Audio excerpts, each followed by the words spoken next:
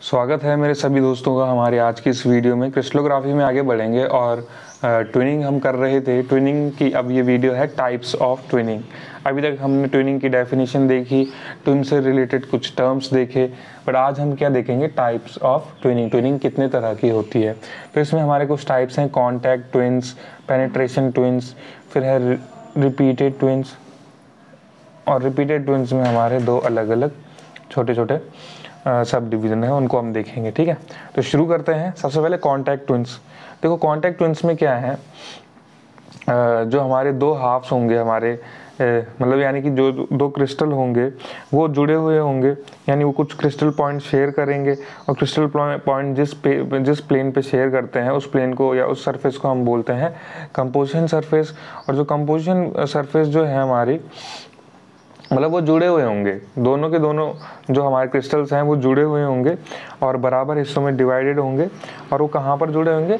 Composition surface में, और वो जो कंपोजिशन सरफेस होगी, वो कैसे होगी? प्लेन कंपोजिशन सरफेस होगी। यानी the two halves are united by the plane composition surface such that एक हिस्सा जो है दूसरे की मिरर इमेज होगा। That one part is the mirror image of the other यानी जो दो दो क्रिस्टल हैं हमारे आधे आधे, यानी कि जो दो क्रिस्टल हैं, वो जुड़े हुए होंगे प्लेन कंपोजिशन सरफेस से।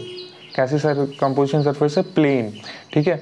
और इस तरीके से जुड़े होंगे कि दोनों जो है एक दूसरे की मिरर इमेज होंगे। तो ऐसे ट्विंस को हम बोलते हैं कॉन्टैक्ट ट्विंस ठीक है? इसके एग्ज़ाम्पल हैं plagioclase quartz gypsum spinel orthoclase etcetera ठीक है? फिर आता पेनेट्रेशन ट्विंस अब पेनेट्रेशन ट्विंस में क्या होता है? ये भी जो हमारे दोनों क्रिस्टल्स होते हैं, जुड़े हुए होते हैं कंपोजिशन सरफेस से, लेकिन कैसे कंपोजिशन सरफेस है? यहाँ पर कंपोजिशन सरफेस प्लेन ना होके इरेगुलर होता है, किसी भी तरीके का होता है प्लेन नहीं होता। तो तब हम कहते हैं उस, तब हम उन ट्विंस को बोलते हैं पेनिट्रेशन ट्विंस ठीक है? The twin appears as the individuals were crossing each other मान लो एक क्रिस्टल ये है और दूसरा क्रिस्टल ऐसे गया तो इसने इसको क्रॉस कर दिया ना तो हम बोलते हैं कि भाई इसमें हमें जो ट्विन है, वो इस तरीके से दिखते हैं, जैसे कि इंडिविजुअल यानी कि जो अलग अलग क्रिस्टल थे, वो एक दूसरे को क्रॉस करते हुए नज़र आते हैं।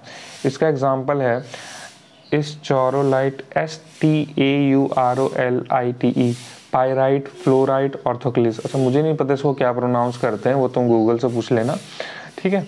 स्टोरोलाइट या स्टोरोलाइट जो भी ऐसा ही कुछ हो सकता है, ठीक है?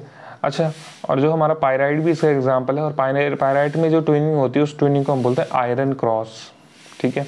एम वाला क्वेश्चन अच्छा फिर इसके बाद है रिपीटेड ट्विंस रिपीटेड ट्विंस की अगर हम बात करें तो इसमें पॉलीसिंथेटिक और लैमेलर ट्विंस ठीक है? और सिमेट्रिक और साइक्लिक ट्विंस अच्छा इसमें क्या होता है? पॉलीसिंथेटिक और लैमेलर ट्विंस में twin planes are parallel to each other ठीक है, ये एक दूसरे के पैरेलल होते हैं। एग्ज़ाम्पल है प्लेजियोक्लेज फेल्सपार्स और कैल्साइट और सिमेट्रिकल और साइक्लिक ट्विन में क्या है? Twin planes does not remain parallel but tends to produce circular form ये दोनों पैरेलल नहीं रहते हैं बट सर्कुलर फॉर्म प्रोड्यूस करने की कोशिश करते हैं। ठीक है? तब हम इनको कहते हैं सिमेट्रिकल और साइक्लिक ट्विन इनको हम मिमेटिक ट्विन के नाम से भी जानते हैं। M I M E T I C twin ठीक है? ऐसी ट्विनिंग क्या होता है? Such twinning imparts higher grade of symmetry than that of individuals ठीक है? जो हमारी ऐसी ट्यूनिंग होती है, वो हमें higher grade of symmetry provide करती है। और एक इसके एग्जांपल हैं aragonite appears to be hexagonal जो एरागोनाइट जो है, वो हमें हेक्सागोनल दिखता है। और अगर हम बात करेंगे रोटाइल के केस में साइक्लिक ट्विन को हम जेनिक्यूलेट बोलते हैं G E N I C U L A T E geniculate twin बोलते हैं, और जिप्सम के केस में हम साइक्लिक ट्विन को नाम देते हैं बटरफ्लाई ट्विन दोस्तों लाइक शेयर सब्सक्राइब और कमेंट करना। मिलते हैं अगली वीडियो में। धन्यवाद।